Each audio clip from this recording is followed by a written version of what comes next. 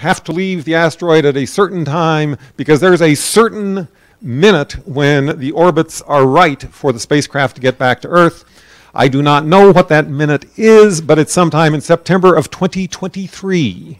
So it'll be a seven year mission, take a couple of years to get to the asteroid, spend a, a, a, about a year at the asteroid, do this spectacular touch and go sampling. Any of you guys going to talk about the TAGSAM or maybe? No? We'll mention it. Okay, but you know, uh, a sampling which it, we don't land on the asteroid, but just sort of touch it, grab some stuff, and get away as fast as we can before something happens to the spacecraft. Um, but there will be lots of science going on leading up to getting there, lots of science at the asteroid.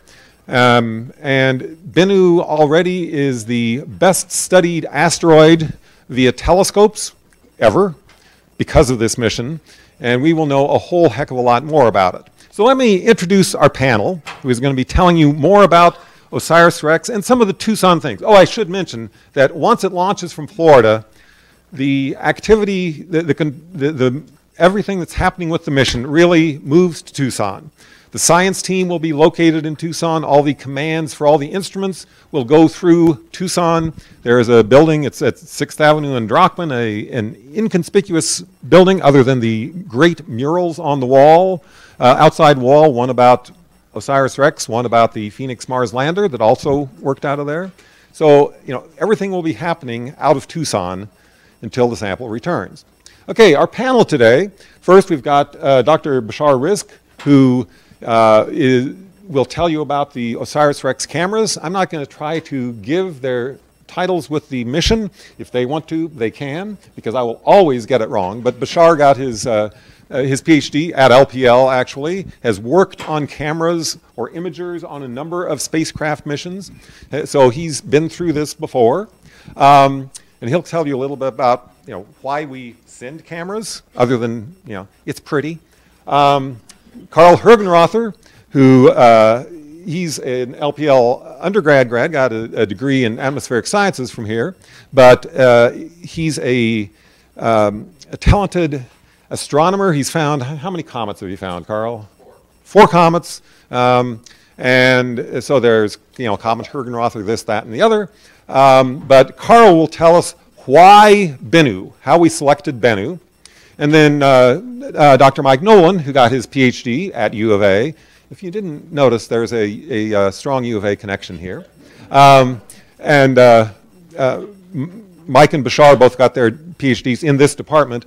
Mike went off and spent a while at the Arecibo Radar the big dish in Puerto Rico. He was, had a number of titles, observatory director. He was head of the planetary radar section, did all sorts of things like that. He'll tell you more about the science that we're going to be doing at Bennu. So the way this works is that each of these three will tell you a little bit about you know, uh, a part of the mission, and then we're just going to open it up for questions. So we'll start with Bashar. Is this pretty good? Yeah, okay, I can hear myself. Um, hi, I'm Bashar Rizk. Uh, thank you for that wonderful introduction, Tim. I, oh, good. I have been at LPL for more than 30 years, and I'm extremely delighted to be here and to be on this mission, which is the culmination of a lot of years of work by many, many people. So let's just get started here. I'd like, one year ago today, uh, we we put or integrated our camera suite, the OSIRIS-REx camera suite, OCAMs, onto the spacecraft. Um, you can see one year ago in a day, uh, the Polycam was being carried up in its uh, red removed before flight cover uh, onto the science deck of the OSIRIS-REx spacecraft. In this mission patch, you can see uh, the three cameras, the, the very narrow angle Polycam, uh, the wide angle uh, SAMCAM and the uh, middle medium angle uh, MAPCAM, each with their own specific purposes. I'm going to talk somewhat about that, but mostly I'm going to try to motivate why we are interested in taking images of the asteroid, um, other than to make it a safe mission and be able to guarantee as much as we can that we're going to get a sample back safely. Uh, we are going to the asteroid Bennu uh, shown here compared to the Empire State Building, which it's a a little bit wider than the Empire State Building is tall. Of course, it's got much, much more volume. Uh, it's a small asteroid as these asteroids go. Um, it, was, it was found in 1999 by the uh, Automated Asteroids uh, Search Linear. Um, it's, as Tim said, has been the most widely studied asteroid that we have, especially for a near-Earth asteroid. The, the OCAM suite will make um, the, the job of gathering a sample from the surface of this asteroid a lot safer uh, and a lot more, a lot more of a low-risk operation. I've shown Bennu here, which is right over here on the lower right, uh, in comparison with two other objects that were recently visited by Earth probes. This is Churyumov Gerasimenko, uh, the, the periodic comet 67, uh, which was visited by the Rosetta mission. And this is the, the near Earth asteroid Itokawa, which was visited by the Japanese probe Hayabusa. Uh, this one actually got some sample returned from it uh, back to Earth to the tune of a few milligrams. Uh, this, the, the probe is still there. It's, we're not anticipating getting a sample from a comet back on Earth uh, anytime in the next 10 years, but it's certainly an active area for interest. Um, the, seen here, uh, these objects are very small, but also what you notice is they're very irregular. And the low gravity makes it difficult to sample or even operate near these objects. Uh, paradoxically, you're moving very, very slowly what would be the problem? I mean, as slow as you're moving around these objects to the tune of a few centimeters per second, why is it dangerous? You know, even if you run into something, that's like that. You know, you're kissing it. Well, it turns out that when you have such a low gravity, other non gravitational forces come more into play. And as these things go, spacecraft engineers, especially NASA spacecraft engineers, like to know what their spacecraft is doing as far into the future as they can.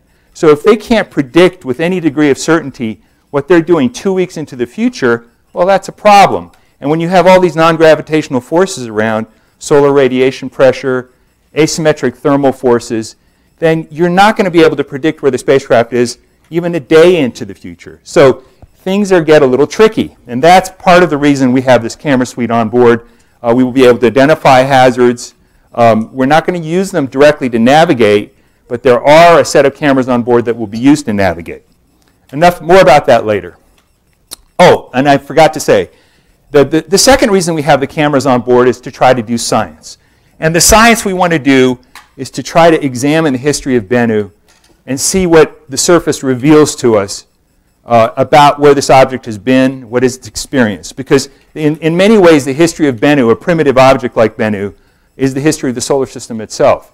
We're finding out more and more about these small objects, and we're finding out more and more that their gravitational influence, even on the large planets, guided the evolution of the solar system in the current way of thinking, you know, way to, for, to be the way it is today. So I'm going to go on a little bit of a tangent here, and I'll try not to take too much time while I do it, but I want to present to you a number of images of different phenomena, not necessarily asteroid related, not necessarily even space related, but of different iconic phenomena, and to try to understand and motivate that what we're trying to gather or, or derive from these pictures is an idea of what is happening at these, at these locations. So let's start with this one. This is a very uh, this, this image combines a lot of different themes here. That's Devil's Tower, which appeared in the movie um, Close Encounters of the Third Kind. That's the Milky Way behind it. Um, this beautiful Wyoming field. It's Wyoming, right? and, and, and you're trying to understand everything in this picture. Well, it would require many, many lifetimes to fully understand everything that's going on here. All captured in one image. Here's the Earth. Notice uh, on first, on first glance here, you see all this white stuff, all these clouds. And so if you look closer, you see that the edge here is not sharp and defined, it's diffuse. So you, you did immediately deduce that there is an atmosphere on this planet.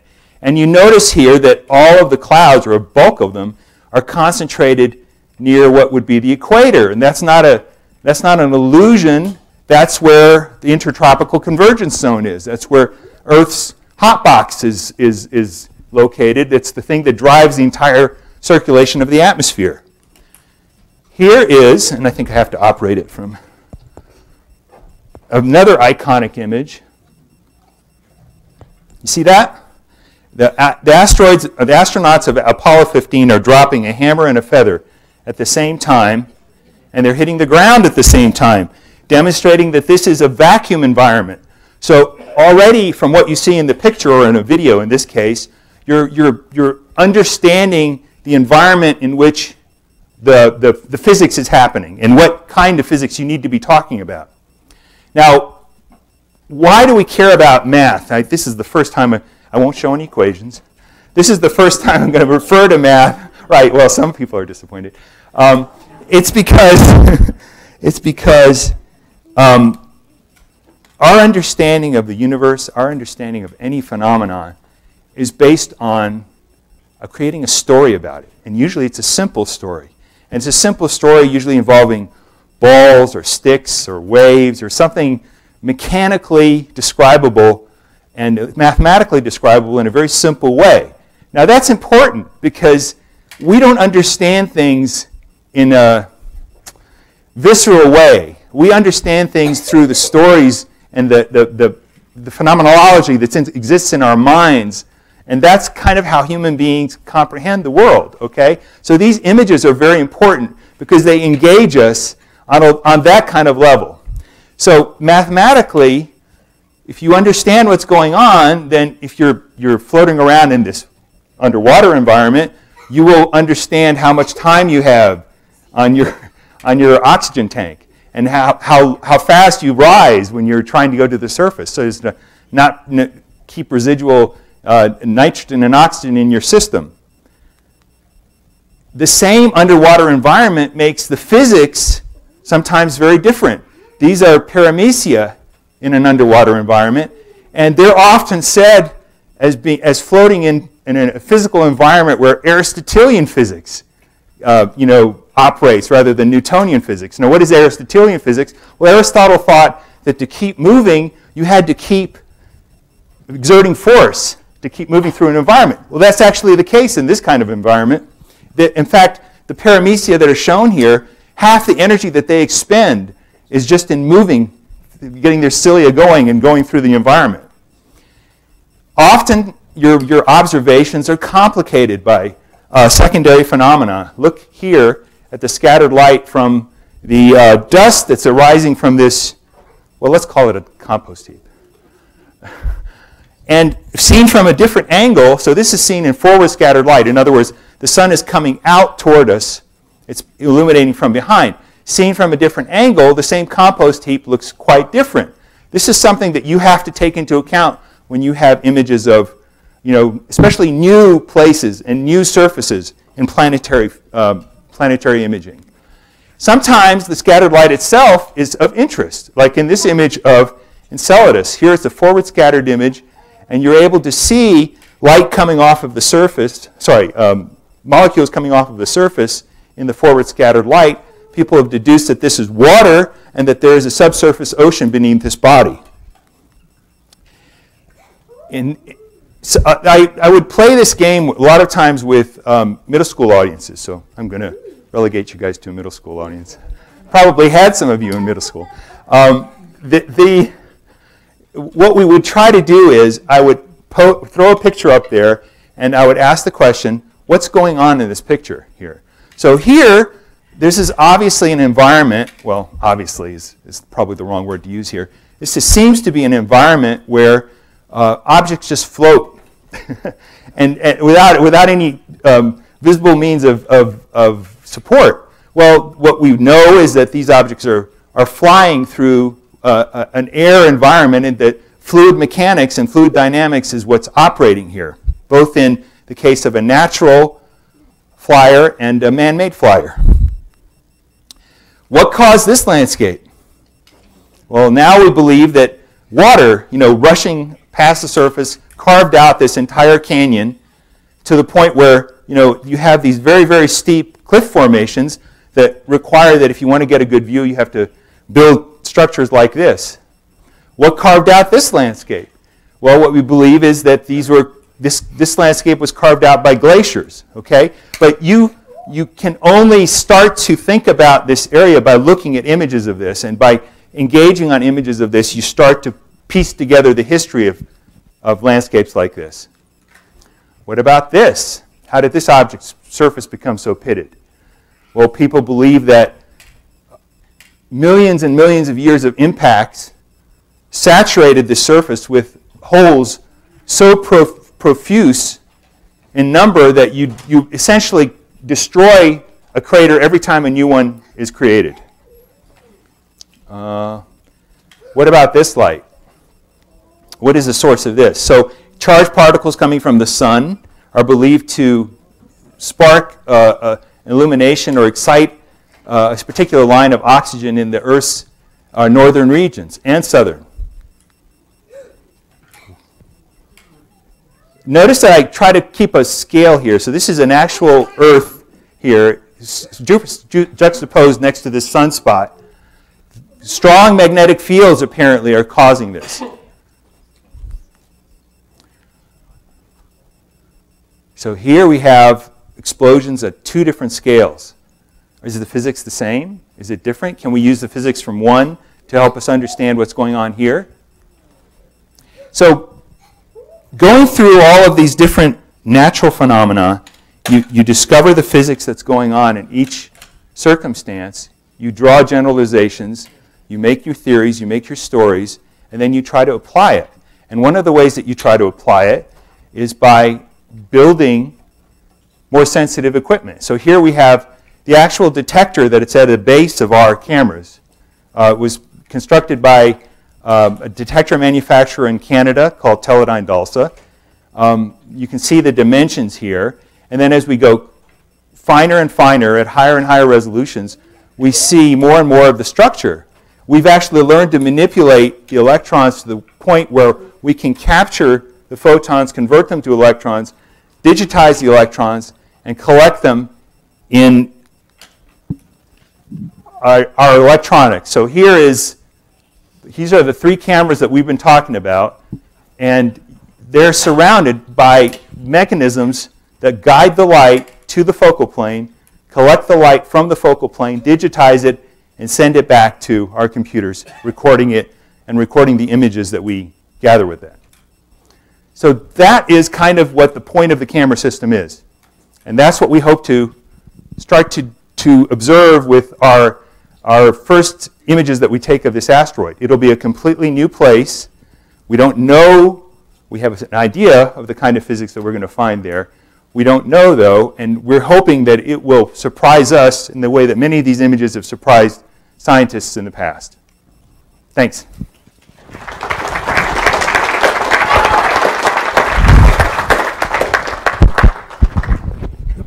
Thank next, you, we, oh, go ahead. next we've got Carl Hergenrother, who will be talking about why are we going to Bennu?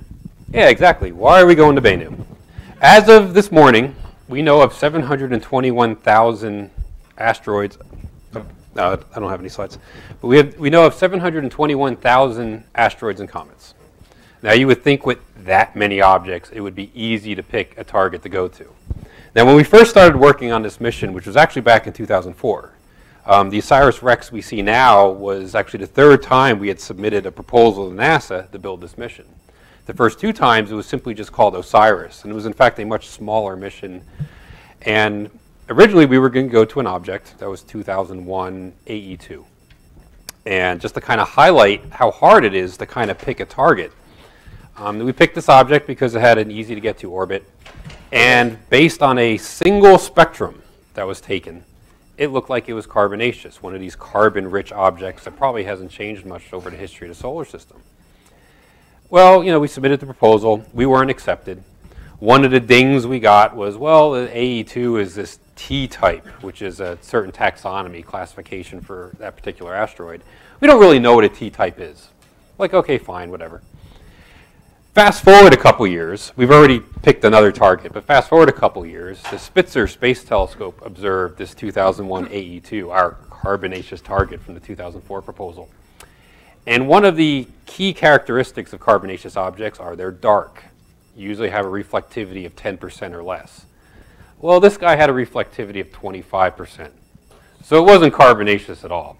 So that kind of does highlight some of the issues we have with picking the correct target. But kind of moving back now to about 2005, you know, we submitted our proposal. We weren't accepted. We were looking for a better target than this 2001 AE2. So at that time, there were about 300,000 known asteroids. Now, most of the asteroids are spread all over the solar system. Some get many times closer to the Sun than Mercury. Some get many times further away than Pluto. The majority are in the asteroid belt, so they're orbiting between Mars and Jupiter. Well, for even a billion dollar class mission like OSIRIS To get a spacecraft out there, to rendezvous, orbit, collect the sample, then come back to Earth, you're talking a mission that's going to take more than a decade. And since you have this constant army that you have to feed and care for for a decade or more, it's pretty expensive. It's hard to do that for actually even under a billion dollars. So you go for objects that are closer to Earth, the near Earth objects, of which many, at least half of, half of them, have been discovered by projects here and based out of LPL. You got Spacewatch, which kind of pioneered the use of using digital CCD cameras to discover objects, and they use telescopes on Kitt Peak. And then there's the Catalina Sky Survey, which is where I got my start back in 1992, was with, Catalina. And they have telescopes on Mount Bigelow and Mount Lemmon in the Catalinas, and for a while they were using a telescope down in Australia as well. So if you limit yourself to the near-Earth asteroids, now you drop from 700,000 to 12,000. Still a huge number, but again, not every object is created equal. Some of them, like I said, get too close to the sun. Some get too far from the sun. Some have orbits where their inclination, the, the angle at which they come out of the plane of the ecliptic where the Earth orbit is too great. And to get to those particular kind of objects poses two problems. One, you need a giant rocket. And for this New Frontiers class mission, we were given a choice. We could launch on an Atlas V, a Delta IV, or a Falcon 9 and not the heavy versions of these rockets, some of which haven't even flown yet. So there's some objects you just don't have the energy because you don't have the rocket power to get to. The other problem is even if you could get to them, your sample return capsule only works up to about 11 kilometers per second when it hits the Earth's atmosphere. Some of these objects, because of the high eccentricity, the high inclination, you're talking about what effectively you can call an impact velocity with the Earth's atmosphere of 40 kilometers a second the return capsule wouldn't work. So you'd have to design one completely from scratch. So what you end up being drawn to are objects that have very, very Earth-like orbits. You know, semi-major axis of around 1 AU, which is the Earth-Sun distance. Eccentricities that are not too great, maybe about 0.2, so not spherical, but not these parabolic comet-type orbits. And inclinations that are only up to about 8 degrees. So you're looking for truly the most Earth-like orbits of the near-Earth objects. And when you make that discriminator, now your 700,000 drops to 12,000 drops to 200. Still looks like a lot of objects. You have 200. The problem is most of those 200 objects are really small, which means they were only observable when they were passing by the Earth. And four days later, they were too faint. So for a lot of them, are effectively lost. They'll be rediscovered at some point in the future by future asteroid surveys, but can't send a spacecraft to something if you don't know where it is. The other problem is these small objects. This is a thing I was doing research on when I first came onto OSIRIS, is that they have a habit of rotating extremely rapidly. The fastest rotator we know about rotates once every 16 seconds.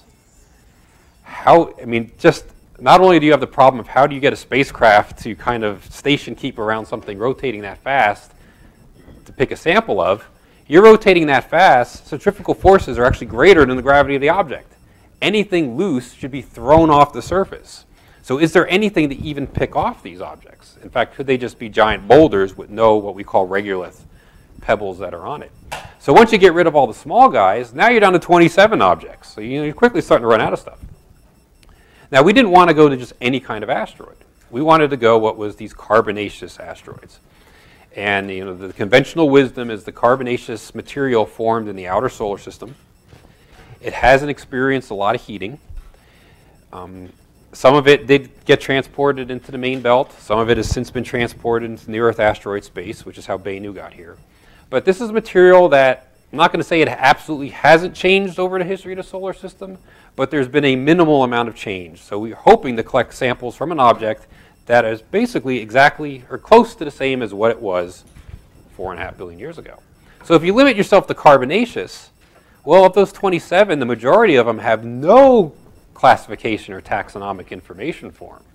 At the time, only I think about nine had any kind of spectral information that we could even say they were carbonaceous or not.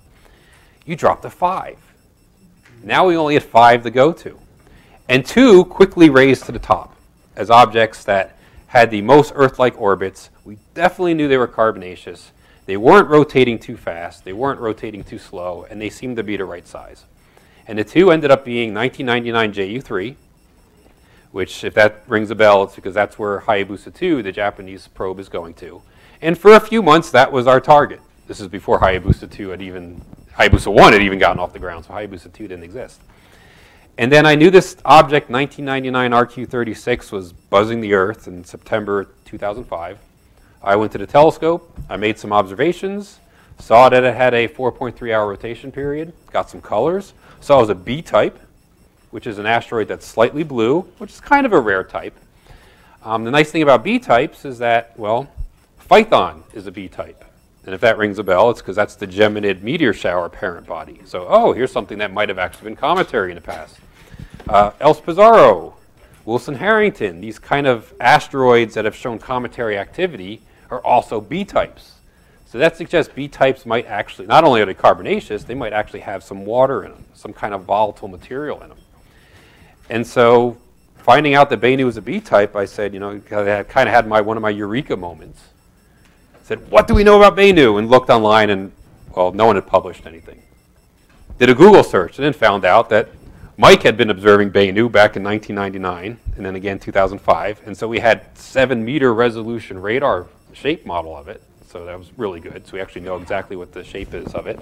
And found that other people had confirmed, confirmed that it was a B type. So quickly that rose to the top and that became our target. Um, since then, there's been one other object discovered, 2008 EV5, which had we known about it at that time, probably would have been in the running, but it wasn't discovered till later. So it really came down from 700,000 to two. And then we ended up with one. So you can see how close we could have had no viable targets for this sort of mission. And I'll hand it off to Mike, who will talk a little bit more about our science. Thanks. I should probably turn the lights on turn the lights on? I don't. I don't have slides. so why? So so so what, what's the, um, the the scientific reason for doing this? What, why are we going? Why are we sending a spaceship, spending not quite a billion dollars, um, to an asteroid and bringing a piece back? Well, spaceships are cool. That's definitely part of it. Um, but the other, the, the, the, what we call the scientific driver, you heard Carl say it. You've probably heard other people say it four and a half billion years old. The solar system's four and a half billion years old. How do we know that? Well, if you were out in the atrium there, there were some people showing off some meteorites, rocks. And if you look at those rocks in, in great detail, you discover they didn't come from the Earth. They fell from the sky onto the ground, and some of them appear to be extremely old. If you do, if you do, do chemical analysis, and uh, some of them are extremely old, and are made of the things that we think the solar system is made out of. So if somebody says, how do we know how old the solar system is? How do we know what the sun's made of? What do we mean by that? We mean somebody took those rocks, opened them up, and studied them and said, I think this came from the beginning of the solar system, and this is what it's made of, so that's what the solar system was made of. We study these rocks that fall on the ground uh, uh, to figure out everything we know about the origin of the solar system, pretty much. But if you also look at those rocks, a couple of them may say this came from the moon. But we know that because we've been to the moon and those rocks look the same. Or this one came from Mars. We know that because we've been to Mars with spaceships and compared the rocks uh, and, and, compared the, the, the, what they're made of. We know they're the same. But most of the meteorites are just things you find on the ground. You might see them fall, but you don't know where they came from in space. So the reason we're doing this is to say, we're going to bring what we uh, we have the asteroids in space where we think they came from. We have the rocks in the ground. It's really hard to connect them. So what we're going to do is go get a piece where we know where it came from because we went there and picked it up ourselves. brought it back and study it and say, okay, this asteroid that we at least have, we have pictures of, we've measured it, its, uh, we, we, uh, we've take, um, We've measured its composition, we've studied as much as we can in space, and we're going to bring a piece home, and that's the meteorite that we're going to go study so we can connect the, the thing we're measuring from which we learned about you know, what the solar system made of, what the Earth was made of, with the place it came from. So that's, that's the, the basic scientific reason we're, we're going to do this. Excuse me. And, and that's never been done before. Well, okay. He said, Hayabusa tried to do it a few years ago. They, brought, uh, th- they had a problem. They brought back tiny samples. When, we, when they first told us what, what, what uh, first they said they had nothing. Then they said, no, we found these tiny, tiny little particles. And then I went to a conference about three or four years ago where they learned all kinds of things from these tiny, tiny little particles. We're going to bring back a handful, right? That's how much we want to bring. And so that means it's enough that you can actually pick up a piece and look at it and again take it apart and study it with every, every possible thing you can imagine. A little piece is going to get distributed all over the world to do these studies. So the scientific reason for this is for once we're going to have a, um, a, a, sample from the early solar system where we have the sample that we can study in extreme detail and we know where it came from. We, we studied the, the asteroid it came from as well as we can and it's quite possible that the kinds of meteorites that would come from this asteroid, that if you took a piece of it and dropped it on the Earth, it, that they all burn up before they get here. We're not really sure that every possible asteroid, they, if, it, if it falls to the atmosphere, a lot of them may just kind of fragment and burn up. So it may be one that we've never seen before. And so that's the justification for why it is we're going to go this, do this particular experiment. And you might mention why we're going to a carbonaceous asteroid. why we're going to a carbonaceous. And the carbonaceous asteroid is the thing, right? That that if uh, that's the material that life is made from, right? Uh, and possibly life itself could have originated in some way with the, sol- uh, the electric fields and solar and magnetic fields and, and solar uh, radiation. Interact, but so that's the material for, on which life is based, and so this is the stuff. Uh, this is the stuff from which life was based, and probably how that stuff got to Earth to begin with to make what we are today. So th- th- that's what we're trying to study is right, the, the, material from which life started on Earth, uh, and we've found we have found rocks like this on Earth, but but we've never connected them to, to their origin before. So. Thank you.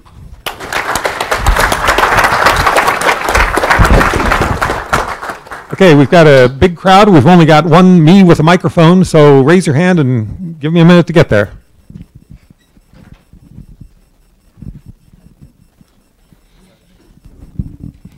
Yes, uh, we've heard y'all about the engineering and how we're going to get there and stuff. What are we going to do with the samples once we get them back? Where are they going to go? Okay, so when it comes back, we're going to take, uh, I think, three quarters of the samples and archive it for later, uh, because we don't know what people will be able to do, you know, in, in 20 years.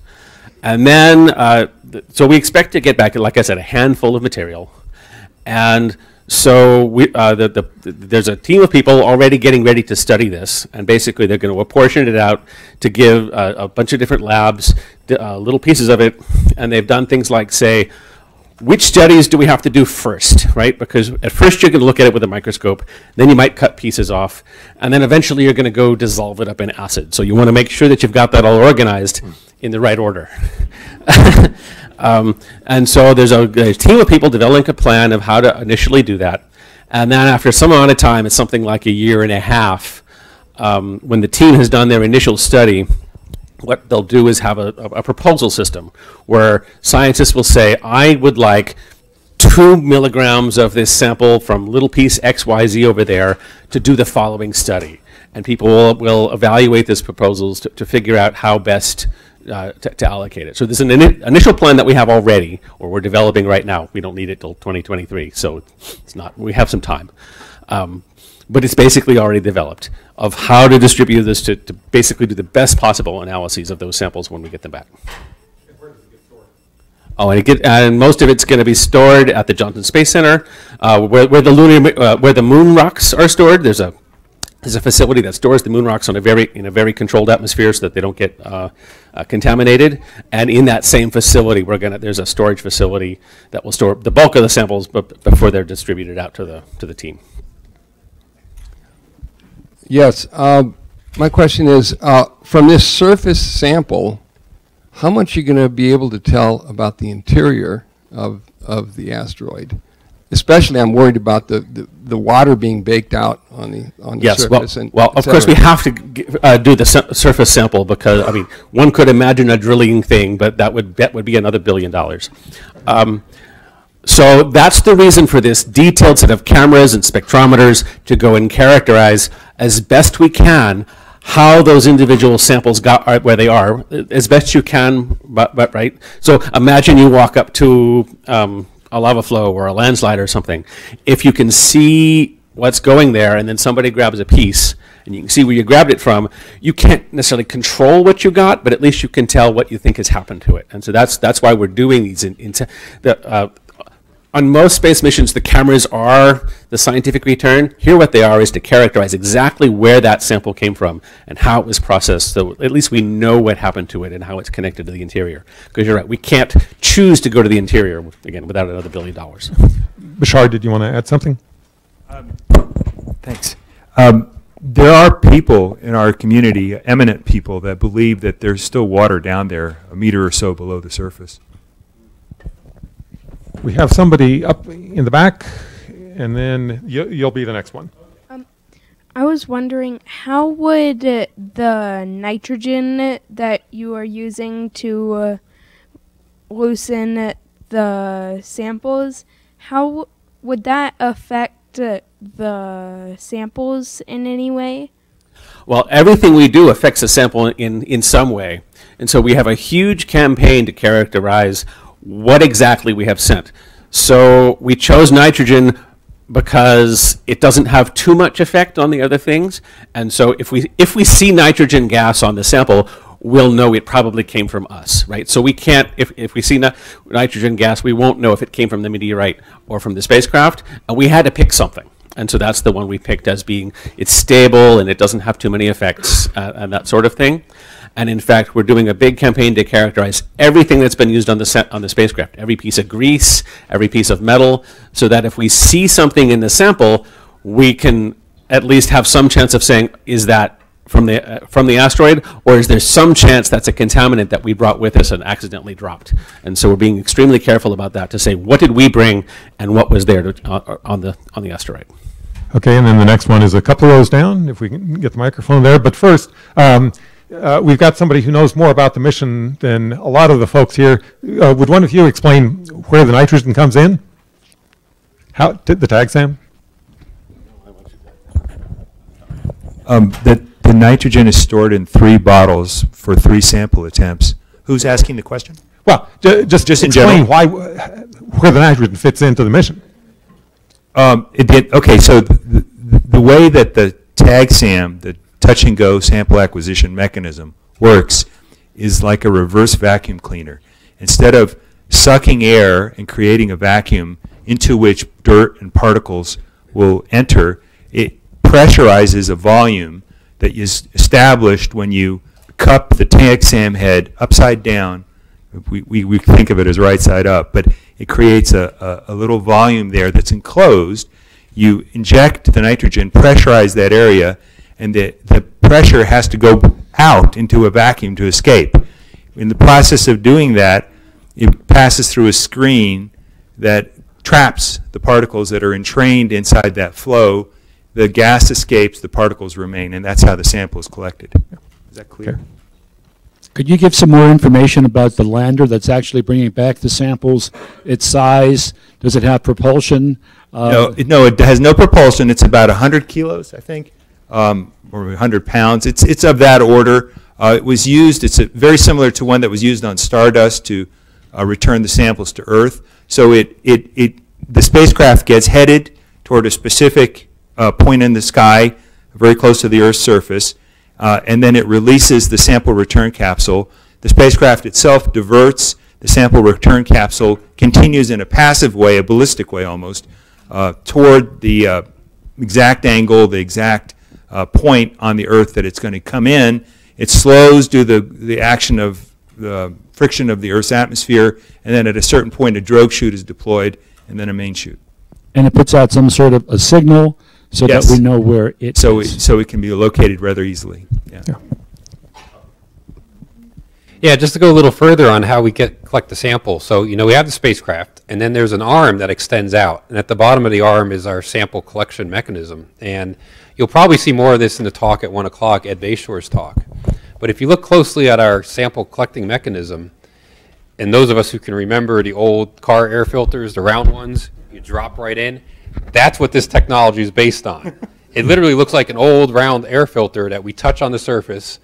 We, you know, blow these inert nitrogen canisters, kicks up the dirt, gets caught by the air filter, and then we kind of pogo stick bounce off the asteroid.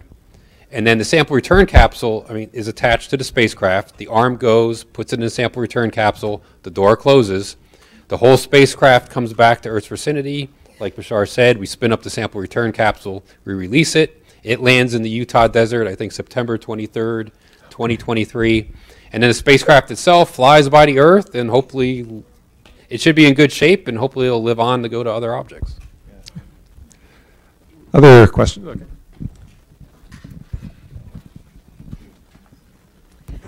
Could you be a little more specific about what you hope that this sample is going to tell us? What are you really looking for? Well, I- I'm, I'm going to give a, a- hopefully a less satisfactory and a more satisfactory answer.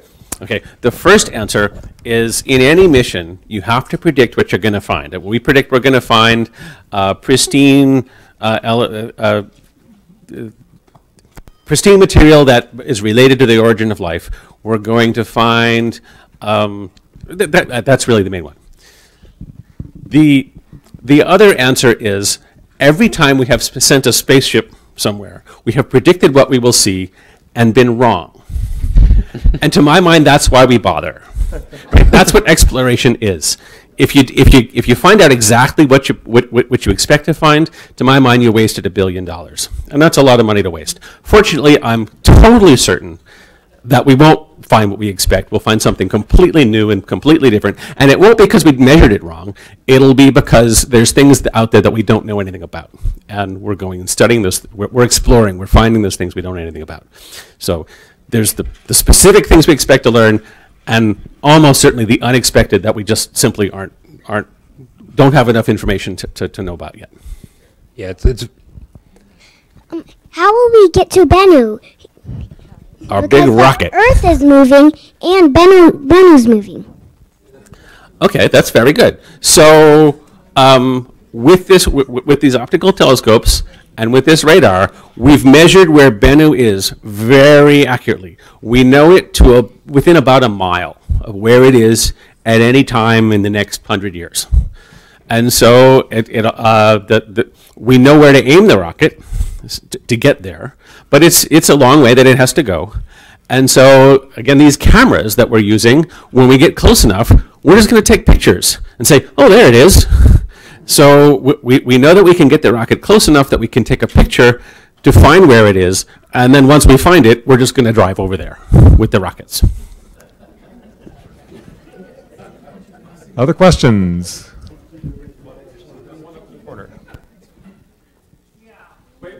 Wait for the microphone. And, and we have fancy names for that, but that's what we're doing.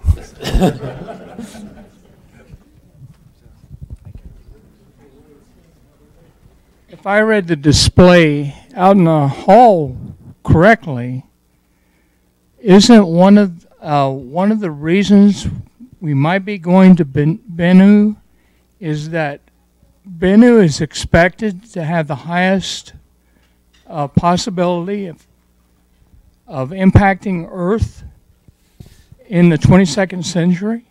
Yes, uh, Bennu is currently the, the, the, the, largest risk object that we know of. It has about a one in 3,000 chance of hitting the Earth right in 2180 something. I mean, and it's the kind of thing where it has a very low chance, but if it hits, it's going to hit. We can tell you the, the time to the minute when it will hit if it does hit. Okay, so the reason, so we're, we're going and we're going to measure its orbit even more precisely. Okay, and so in a few years from now, we'll be able to say what's not 1 in 2700. We've measured the orbit better. Now we either know that it's 1 in a billion and we don't have to worry about it, or we'll know that there's a significant chance of, of impact, right? We'll be able to say one of those two things. if there is a significant chance of impact, we have well over 100 years to deal with it. And Bennu is small enough that, in fact, if you just went and put some rockets on it or smashed into something with existing technology, this is not, we don't have to develop anything major new. This is like we could do it in 20 years. We could push it far enough that it wouldn't hit anymore. Right? Because, we, because we have such a long time, we have 100 years. You don't have to move something very fast in order that in 100 years it's out of the way. So we have to move it, I mean, uh, we have to change its orbit about this much in order to make it so that it won't hit the Earth. If it is, so it, it's something we already know how to do um, if we discover that it is going to hit. So yes, that is one of the reasons is to basically either confirm that it won't hit or figure out that it's some problem we need to solve.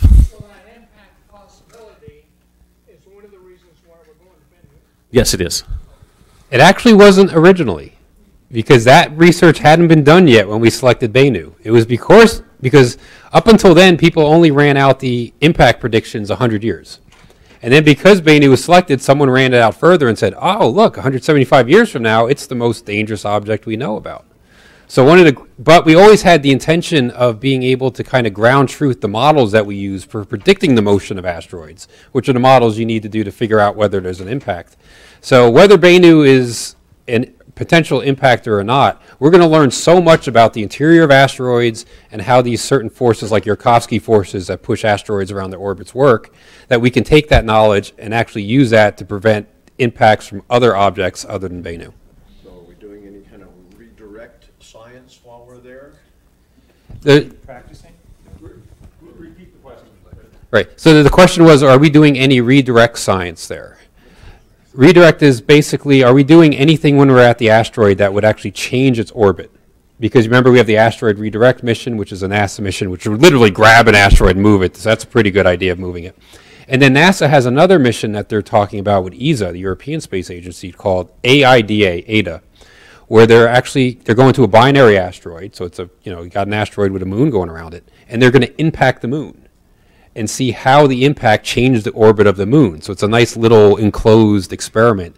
Basically to just figure out, you know, if we do impact with kinetic energy another body, how much can you change its orbit? So we do have other missions on the drawing board that will do that. We're not actively going to change the orbit of Bennu, but we're going to learn a lot about its orbit, like Mike said, and we're going to learn better techniques for basically calculating the orbits of other objects. Well, you partly answered the question with that statement. I was curious, when you pogo stick off the um, asteroid, are you going to hit it with enough force that you can actually detect anything? No. No. No, it, it, it, Well put. we're, we're specifically hitting it as gently as possible because we want to. We don't want to smash the sample. We want to get as clean a sample as we can. So, so the, the, the impact speed is is about like this, and we're, we're, we're trying to be as gentle as we can to preserve the sample. So no, we won't see any. Yeah, we result. touch the asteroid at centimeters per second. I believe you said that it was uh, three samples you're taking while up there. No, that we, we have three tries. We get one, oh, we, have, we only have one sampler, so we could like use it three different times, but then it would get mixed up. So our, our, our plan is we will get one sample and we have essentially three tries to get it in case there's some, some problem. And what's the maximum amount that you're hoping to get or that you can bring back? So the minimum is 60 grams, so a small handful, and the maximum is a couple of pounds. It depends mostly on what the surface texture is, if it's fine dirt or if it's rocks. That, that's what it depends on mostly. We are running low on time, but uh, there's one up in the corner there and then one here.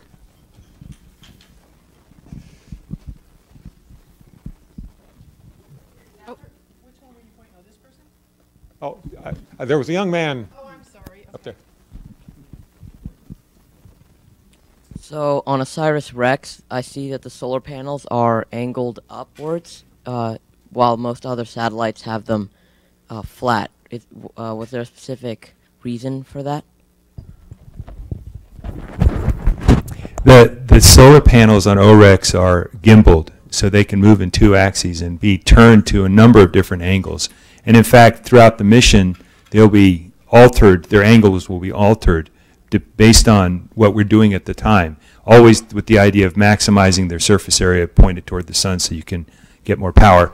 It's worth noting that in the touch and go maneuver itself, when we actually gather the sample, the uh, solar panels are tilted back and away from the actual point of contact. So the angle you see is only during the actual approach so that the, basically the rockets don't, they don't interact with the rockets and the dirt. It's keeping them way uh, out of the way of the experiment. Most of the time, they'll be flat. No, I, I was just gonna ask, can we, um, are we gonna get a chance to visit the Drake building anytime, like during the Phoenix mission? I don't know that. Uh, I'm sure during the Sure there- mission, there will be Oh, open houses. I can guarantee it. There will and be in fact, what, opportunities. what, right now we're building an auditorium over there to do the various public events. So I, yes, there definitely will be. I don't know the schedule for that. They, they still haven't finished the auditorium yet, but it's almost done. And uh, now during the actual launch, most of the people there will be at the launch. So I suspect not at that time, but uh, there will be regular public events over the course of the mission, uh, and many of them will be over there. Okay. Yeah, for two years, the, now we're calling it the SPOC at the Drake Building will be, you know, mission control for the spacecraft. There'll be plenty of opportunities to come visit. Um, my question is, is there any possibility that when the sample, um, when they try to, to get the sample, that the surface does not um, have anything to give? We spend, we spend a lot of time in the intervening months preparing for uh, gathering the sample, identifying areas on the surface that will be sampleable. So the entire asteroid would have to be a solid uh, block of rock for that to be the case, I think. I think most of the time you'll be able to identify areas that will be sampleable on the surface. So yeah, we will be specifically targeting areas that have sampleable material. But there may very well be regions of that asteroid where it's just bedrock and there's just nothing to pick off it. Right, but when we proposed this mission, actually, the biggest thing that we had to prove, the hardest sell, was that we had enough information to demonstrate that there were places with dirt that we could pick up. And we have a lot of reasons to believe that by looking at the thermal properties and by looking at the way it spins and looking at the shape um, and looking at the radar reflectivity properties. We did as much as we could to make sure that, I mean, given that we can't go there to check ahead of time, that there is going to be material that we can sample. That, that was the, the, the one thing that was the hardest for us to convince people was, was the case. Last question.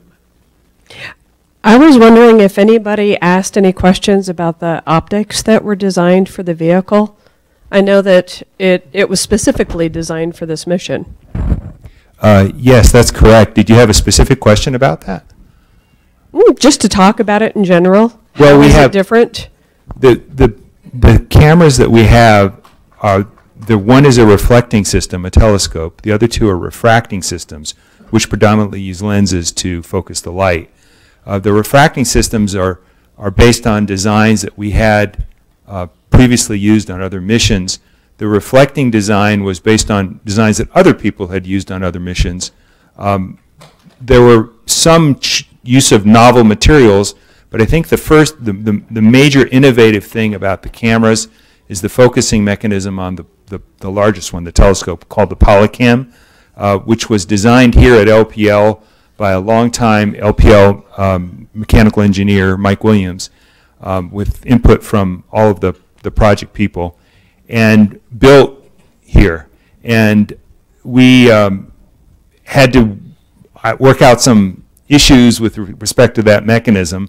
Mechanisms in space are hard in general, but otherwise, um, the cameras are what are called heritage designs. In other words, they have been used before and used successfully before. Uh, otherwise, NASA probably won't let you fly them. Okay, I want to thank everyone for the questions. I know there's some more questions, but we are kind of out of time. Um, so let's thank our panel.